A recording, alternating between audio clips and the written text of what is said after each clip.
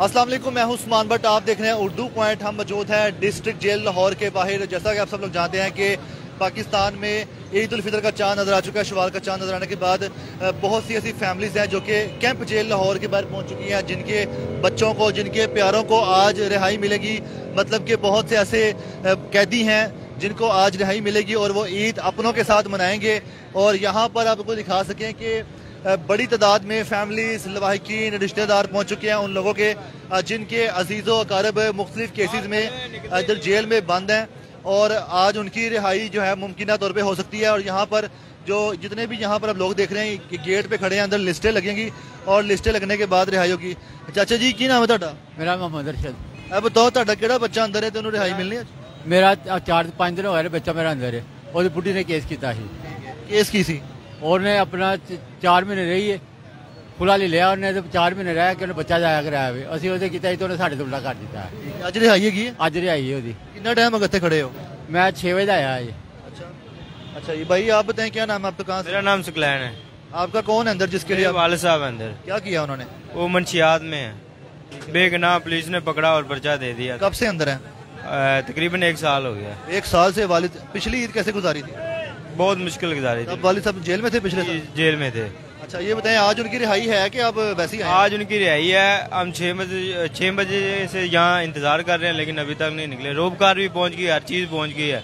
लेकिन यहाँ पता नहीं क्या मसला है, छः बजे से इंतज़ार कर रहे हैं। तो ये बताएँ वालिद साहब से रहा होता रहा एक साल के दौरान? होता रहा। तो उन्हें कितने वो खुश हैं आप भी खुश हो क्या ईद पे वालिद साहब को गले लगाएँगे? बहुत ज़्यादा खुश है अल्लाह पाक का लाख लाख शुक्र है कि हम ईद इकट्ठी करेंगे। चला जी। अच्छा जी आपको दिखा सके कि जैसे ये गेट खुल रहा है तो यहाँ से जिन जिन का लिस्टों में नाम है अंदर एक प्रोसेस चलता है।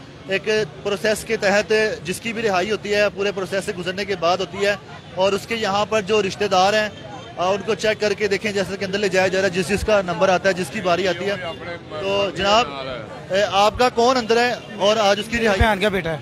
क्या किया उसने? उसका लड़ाई झगड़ा हुआ था। कब से बंद है? तो पाँच छह दिन हो गए हैं। तो आज रिहाई है कि नहीं? हाँ जी आज कन्फर्म है। तो आप खुश हैं कि ईद अपने साथ गुजारेंगे आप? बिल्कुल खुश हैं बल्कि इन्होंने हमें कहा कि आपका लड़का पहले निकालते हैं तो आप हमें एक हज़ार रुपये दे दें। वो बच्चा था पहले आया मेरे से। उसने दे दिया अभी मैंने इसके जाकर कहा कि असिस्टेंट तनवीर शाह से मैंने मिलना है क्योंकि आपने हज़ार रुपये किस चीज़ का लिया है? फिर उसने कहा फ़ौरन मेरा हज़ार रुपये वापस कर दिया। लेकिन बच्चा हमारा आ जाएगा बहुत शुक्रिया। आपका क्या नाम है? जिया रहमान दरअसल मेरी थोड़ी सी दास्तान लंबी है ईजी है ना? आप ये बताएँ आपका अंदर है कोई? हाँ अंदर है हमारे पाँच अफराद हैं। क्या किया उन्होंने? मैं जरा थाने से शुरू होकर यहाँ तक सिर्फ़ इतना बताएँ कि जुर्म क्या किया था? उनका जुर्म कोई नहीं है। और वो तीन सौ पैंसठ बी के जुर्म में वो अंदर है लेकिन उनका जुर्म है नहीं वो कसूरवार नहीं है। है उनकी जमानत हो गई है लेकिन अभी तक कोई लिस्ट नहीं बनी।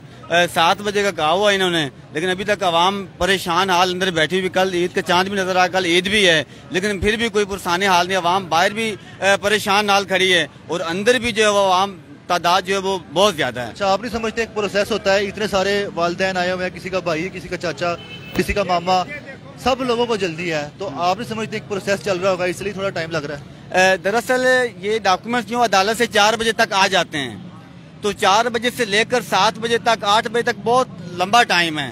अब तक कोई बाहर नहीं आया क्या? कोई बाहर नहीं आया। कुछ हाँ, लोग आए तो हैं। वो सिर्फ़ सिफारिश वाले जिनकी मैंने कुछ देखा कुछ लोग जा रहे हैं रिहा होके। कुछ सिर्फ़ दो गए मैं अंदर बैठा हूँ सात बजे से अंदर हूँ अफ्तारी हमने यही की है सात बजे से अंदर बैठे हैं। सिर्फ़ वो जा रहे हैं जिनका कोई ताल्लक है या कोई सिफारिश वगैरह है। बाकी आवाम जो वो बेजारो मददगार करिए हाँ। ठीक है जी यहाँ पे नाजिन आपको बता सकते अपना वकीला को तहत दे दे। दसो कि कौन है अंदर? सर मेरा बेटा अंदर किता ने जुर्म नजायज जुर्म लगाया गया। किता की है? चोरी का जुर्म लगाया कुछ भी नहीं किया ਕਿਦੋਂ ਕਿਦੋਂ ਦਾ ਅੰਦਰ ਹੈਗਾ तकरीबन सात महीने हो गए ਤੇ ਈਦ ਤੁਹਾਡੇ ਨਾਲ ਗੁਜ਼ਾਰੇਗਾ ਤੁਹਾਨੂੰ ਪੂਰਾ ਯਕੀਨ ਹੈ हाँ जी ਈਦ ਤੇ ਬਾਹਰ ਆ ਰਿਹਾ ਤੁਹਾਨੂੰ ਪੂਰਾ ਯਕੀਨ ਹੈ पूरा यकीन था पूरा यकीन है ਤੁਹਾਨੂੰ ਦੱਸਿਆ ਗਿਆ ਕਿ ਤੁਹਾਡਾ ਮੁੰਡਾ ਰਿਹਾ ਹੋ ਰਿਹਾ ਅੱਜ। हाँ जी दसिया गया जी ਤੇ ਖੁਸ਼ੀ ਹੈ ਤੁਹਾਨੂੰ ਕਿ ਤੁਹਾਡਾ ਪੁੱਤਰ ਤੁਹਾਡੇ ਨਾਲ ਹੋਏਗਾ ਈਦ ਤੇ बिल्कुल खुशी है जी ਕਿਵੇਂ ਇਸਤਕਬਾਲ ਕਰੋਗੇ ਮੁੰਡੇ ਦਾ ਜੇਲ੍ਹ ਚੋਂ ਬਾਹਰ ਆਏਗਾ आएगा तो इस्तेमाल तो करेंगे ना जी ਕੀ साहब ਸੋਚਿਆ ਹੈ? सोचा क्या बे- खुशी हो जाएगी और क्या सोचना है तो नाजिन इस तरह जो है ये दीगर पेरेंट्स भी यहाँ पर मौजूद हैं अ, जिनके आपको दिखा सकें अंदर ये दरवाज़ा खुलता है तो एक उम्मीद भी पैदा होती है। असल जी। क्या नाम है सर आपका? आरफ मेरा आपका अंदर कौन है? मेरा बेटा है। क्या किया सर उसने? बस कोई मेरे वाला चर्चिया लै गया भाग के तो थाने फड़ा दिता तो सर कब से बंद है अंदर? हैं? कब से बंद है?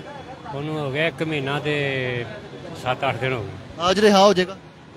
ਪਤਾ ਨਹੀਂ ਸਵੇਰ ਦੇ ਆਣ ਕੇ ਬੈਠੇ ਆ बताया गया आपको ਹੈ रिहाई का बताया गया ਬਤਾਇਆ ਤੇ ਗਿਆ ਵਕੀਲ ਨੇ ਕਹਿ ਦਿੱਤਾ ਰਾਈ ਹੈਗੀ ਹੈ ਲੇਕਿਨ ਅੰਦਰ ਤੋਂ ਕੋਈ ਗੱਲ ਨਹੀਂ ਸੁਣਦਾ अच्छा ये बताएं कि अगर आपका बेटा रिहा हो जाता है तो आपको खुशी होगी कि ईद अपने बेटे के साथ गुजारेंगे हाँ बिल्कुल क्या उसके कपड़े बनाए हैं आपने ईद के यहाँ बनाने हैं? कपड़े बनाए हुए हैं हाँ जी कहाँ से आपका ताल्लुक बताया आपने मैं बेदियाँ रोड थे अच्छा जी बहुत शुक्रिया जी इस तरह नाजिन वालदेन है एक उम्मीद लेके आए हैं बच्चों से बच्चों की रिहाई के हवाले से अम्मा जी क्या हुआ है अम्मा जी क्या हो ਸੁਣ ਰਹੇ गया ਆ। क्या हो गया क्या हो ਕੋਈ ਗੱਲ ਹੀ ਨਹੀਂ ਸੁਣਦੇ ਆਨ ਭਾਈ ਅਸੀਂ ਉੱਥੇ ਬਹਿ ਬਹਿ ਕੇ ਟੋਰਾ ਆ ਜਾਓ ਜਾਓ ਜਾਓ ਕੰਮ ਕਰੋ ਜਾਓ ਜਾਓ ਕੰਮ ਕਰੋ ਇਹ ਕਿਹੜਾ ਤਰੀਕਾ ਵਾ ਜਦੋਂ ਪਿੱਛੋਂ ਰਿਹਾਈ ਮਿਲ ਗਈ ਹੈ ਬੱਚਿਆਂ ਦੇ ਅੱਗੋਂ ਕਿਉਂ ਨਹੀਂ ਕੱਢ ਰਹੇ ਆਨ ਬੱਚਿਆਂ ਨੂੰ गया? कहाँ से आई हैं आप ਜਦ ਅਸੀਂ ਆ ਕੇ ਬੈਠੇ ਆ ਇੱਥੇ कहाँ से आई हैं आप ਮਾਨਾ वाले से आई हूँ भट्टा चौंक से कोल कौन है अंदर आपका बेटा है मेरा क्या किया उसने चोरी का इल्जाम में है कब से अंदर है चार महीने हो गए छह छह महीने हो गए ने उसने मुलाकातें हुई हैं इस दौरान छह महीने के हाँ जी मुलाकात हुई हैं तो उसकी रिहाई है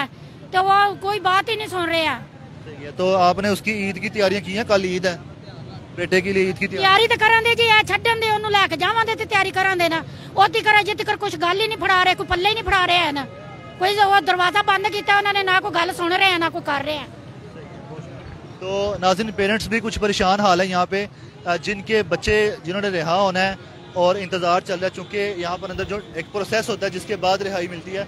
और अभी तक ये देखें काफ़ी ज़्यादा रश लगा हुआ है। जैसे ही ईद का चाँद नज़र आने का ऐलान हुआ है, उसके बाद जो है ना, इनके सबके चेहरों पर भी थोड़ी खुशी आई है कि इनको भी एक उम्मीद मिली है कि इनके बच्चे, इनके भतीजे, इनके भांजे, इनके चाचे, इनके वाल जो जो अंदर हैं, उनके साथ ये ईद मना सकेंगे।